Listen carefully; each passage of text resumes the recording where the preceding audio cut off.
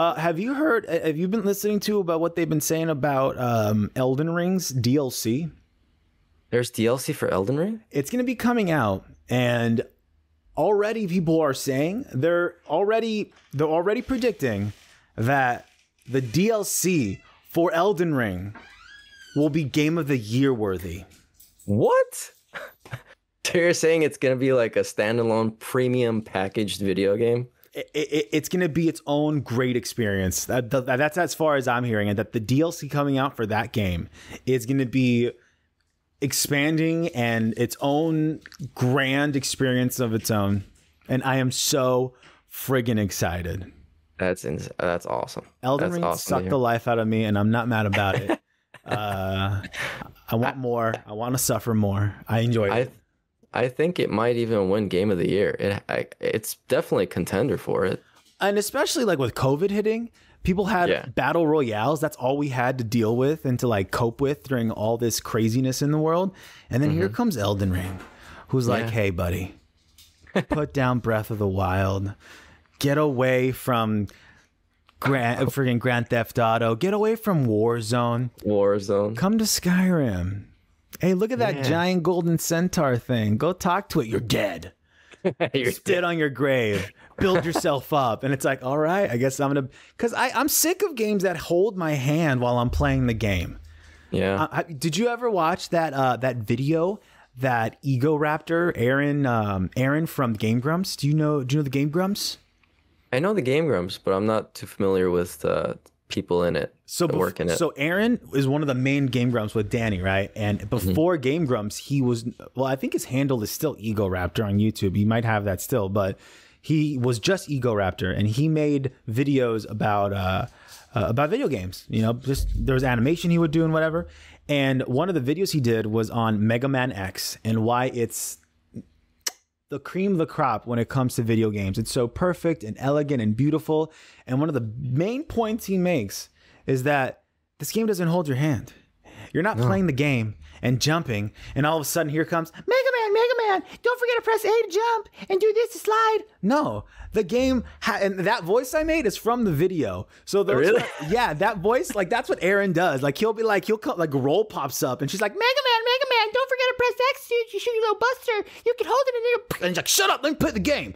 And like that, Mega Man X doesn't do that. Mega Man X is like you're gonna learn through trial and error. Game design is even the old school Mega Man games. They taught you through game design how to figure shit out. You know, like they were like, we're not gonna write text on the wall and tell you how to do stuff. You're gonna figure it out because a lot of games hold your hand. Sky, Elden Ring didn't hold your hand.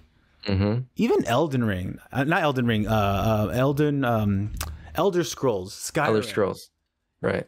Not gonna lie, Skyrim's compared to like Morrowind, Mar- Mor- Morrowind, Morrowind, Morrowind. Hold your hand. Ah. Eld- like uh, if you ever played Elden uh, Elder Scrolls Morrowind, No, I can't say that I have. bro, this game you you want to do a quest? Cool, go ahead. There's no menu to tell you what your next quest is. You better have written that down or remembered it. Oh, you don't know where that is in the map? I hope you have a map on the side because I don't like maybe there's one in the game, but it doesn't hold your hand.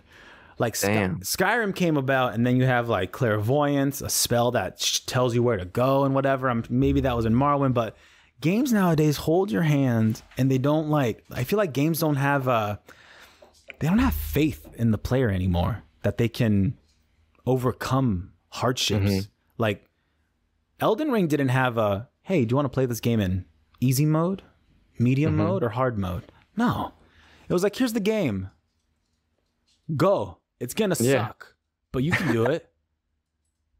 Yeah, one game that uh, that definitely doesn't hold your hand. Uh, I think last time we kind of talked about the franchise, Silent Hill Two. Ooh. That game, masterpiece. Uh, because every time you play it, the puzzles in that game change every time. Wait, so it's what? never, it never, it's never the same, which is crazy to think. Like if you, especially if you put it on hard uh, riddle difficulty, it changes every single time, and you're just like, I can't even go online to like a guide or something to even get the answer because it it's randomized and you you kind of just have it doesn't even tell you anything What kind of programming is that? that it has that kind of like randomized complexity to just like I don't know. It's like imagine playing like uh, imagine playing uh, Zelda Breath of the Wilds, and every time you go into a, a new dungeon or something, it's a new puzzle.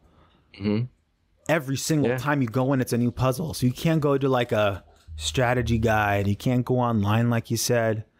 Oh, that sounds terribly awful. I love it. that sounds great. right? Wait, wasn't Silent Hill the also the same game franchise that had the boss where you had to take out the controller? Was that No, that's that's Metal Gear. Metal that's another- Gear? I That's another your favorite, huh? That's my favorite franchise of all time. That I think Metal Gear Solid 1 did that where you're fighting Psycho Mantis and he can actually read your memory card and tell you what game saves you have, which is insane. You're like, no, why "Oh, ha- why so you've been playing Castlevania." And I'm like, "What the hell? How do you know that?" Why don't games do that more? Why don't they utilize that more? That's so smart and creative, dude. It is, and I that's Kojima's mindset, you know, uh, Hideo Kojima. Uh, I don't know if any other creator has done something similar to that. That when I when I was like playing, I'm like, uh, is someone watching me? What the hell is going on? Because I was a little kid playing that. I'm like, damn, okay. And then you had to take out the controller port, put it into the second player to beat him because he read player one's controller inputs because you couldn't beat him like that. You had to So- literally take it out of the player one and be like, uh, "Is this right? Okay." Click. and and it doesn't tell you it doesn't tell you like you have to do that Again, no one's holding your hand, and you didn't have the internet back then. Maybe if you went to the library, you yeah know, get some good DSL connectivity. Yeah or like i think they had like physical strategy guides Oh. you know back back in the day i used to buy those but uh yeah now everything's digital so And even even nowadays, even if they remade that first Metal Gear, how would Mm-hmm. they how would they simulate that boss battle when controllers are wireless now? that's true dang Uh, yeah i don't i don't know It's wireless, so they wouldn't like. How would you, like, how would you have that be like like, uh, unless unless they could program that villain to go into your system and turn off your controller, or have it so it seems that you have drift. Can you imagine that? Can you imagine if it makes it seem that you have drift, so you have to use another controller and leave that one on? No, that'd be fucked up because then you have to be expected to have two controllers. Yeah, well, yeah, that's true. Maybe maybe you would just have to turn it off and if they if the boss can't read it, then you're like, "What is going on? I cannot read you." Oh, and then you turn it back on and then like surprise attack. No, actually. no, maybe you have to go to the menu, like your PS menu or your PlayStation menu, your Xbox home menu. You have to go to your Mm-hmm. home menu, wait there for a few seconds, and then you come back into the game, and the villain's like, "Why am I confused? What was that?" And you have to do. do you remember? Do you ever watch Yu Gi Oh? Yes, of course. Do you remember season one when Yugi at the end of uh, Dungeon Dungeon King no, uh, was it Duelist Kingdom when he was fighting Pegasus at the end, right? And Pegasus was reading his mind, just like this villain. Yugi had to do mind swap with his uh, with Yami, right? So what Yeah. if for this boss you had to go? it might be absurd, but it'd, it'd be fun if they could program this. If to fight the villain and daze the villain to do damage, you had to go to your home screen, back to your home, and then go back into the game. Because a lot of games like Xbox has something called um, Quick Start, so you can literally have your console turn off, turn it back on, and then turn the and then select the game. Quick Start's activated, and it's like you never left. It's sa- Wow. it saved the state. So can you so imagine it resumes from where you left off. right where you went Wow. off? Un- unless the game has some sort of online connectivity that you need to continuously do, then Mm-hmm. it'll stutter. But if you're playing like some single player adventure game, like I'm playing um Sonic Frontiers right now. I heard that's amazing.